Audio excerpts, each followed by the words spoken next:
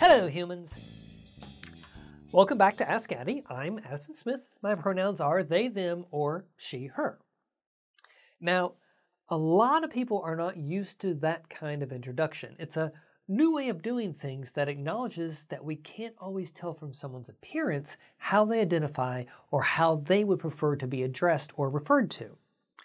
Because it's new, a lot of people have questions about the proper way of doing things, such as Jess M from right here in the United States.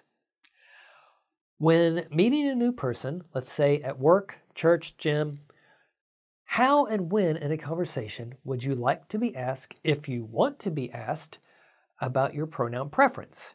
I struggle with knowing whether it's respectful to ask and then asking in a way that feels natural to the conversation. Jess M, United States of America. Jess, there's something you need to be aware of. Don't ask for preferred pronouns. They're just pronouns, the proper way to refer to someone. Saying preferred sounds like you're saying that the pronouns are a choice, thus our identities are a choice. They're not, and we're tired of being told they are. Beyond that, it's really simple. If you're not sure what someone's pronouns are, just ask. Now, you can do this as an aside during a conversation. So there we were. What's your pronouns? Yeah, with my shoe stuck in his. Or you can ask them right up front, Hi, nice to meet you. What's your pronouns? You can lean over the dinner table and, and with your glass of wine and whisper, What's your pronouns? Okay, that's why I haven't had a date in a while. But for you, Jess, ask when you feel that information will help you be more respectful of someone. Just ask. Or you can flip the script.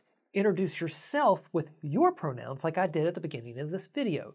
That helps normalize people sharing their pronouns. Another way you can do that is by having everyone share their pronouns at the start of meetings. However, be careful where you do this. If you're in a known queer or accepting place, then this should be okay. But if you're not sure, if you're not sure how safe the place is, then I wouldn't recommend doing this. If the place isn't safe, you can end up outing a trans or non binary person or force them to lie about themselves in order to remain safe, which is very uncomfortable. You're right that asking pronouns can be tricky, but it's not the asking that's tricky, it's knowing when you're in a safe environment. Not for you, but for the queer people who might be outed to people who can do harm to them. As for being respectful, as a queer person, I can't think of anything more respectful. Asking a cisgender person for their pronouns is also respectful because you're trying to ensure that you're treating that person as they wish. When you ask a queer person what their pronouns are, you're saying, I see you. I understand who you are. I want to make sure I give you the respect you deserve. When you work to normalize the sharing of pronouns, you're helping make your queer friends' lives a little better. What is more respectful? For many trans people, when you spend your day being misgendered by people you, using the wrong pronouns or honorific, personally, I hate to be called sir, Someone confirming your pronouns with you feels like an affirmation of your identity, and that is a great feeling.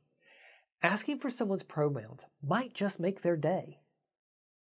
Another aspect that many people overlook is that asking for pronouns shows that you're not afraid of that person.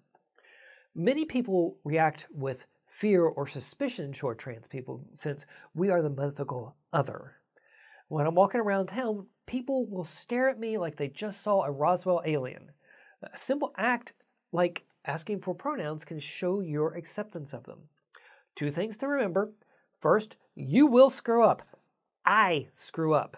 Accept that and own it. Correct yourself, continue, and try to do better in the future. Many trans people will understand that you're fighting against years of linguistic conditioning.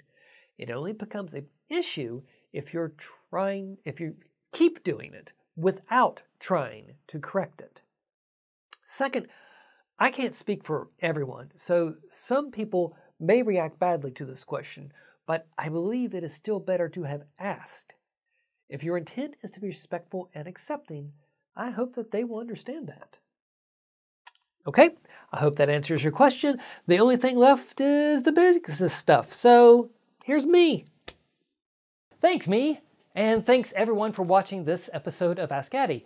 If you want to see more, be sure to click like and subscribe and tap the little bell to find out when new episodes are released. Do it, tap it.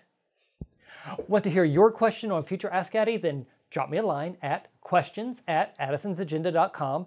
And speaking of my website, addisonsagenda.com, you can go there to find out how to book me to give a talk at your company or organization, either virtually or in person now.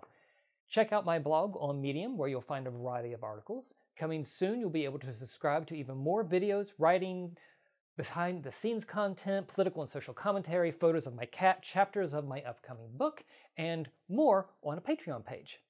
I'll let you know when that's up and running. If you'd like to leave a tip, you can Venmo me at Addison's Agenda. Links to all this are in the description. Until next time, I'm Addison Smith. Peace and long life.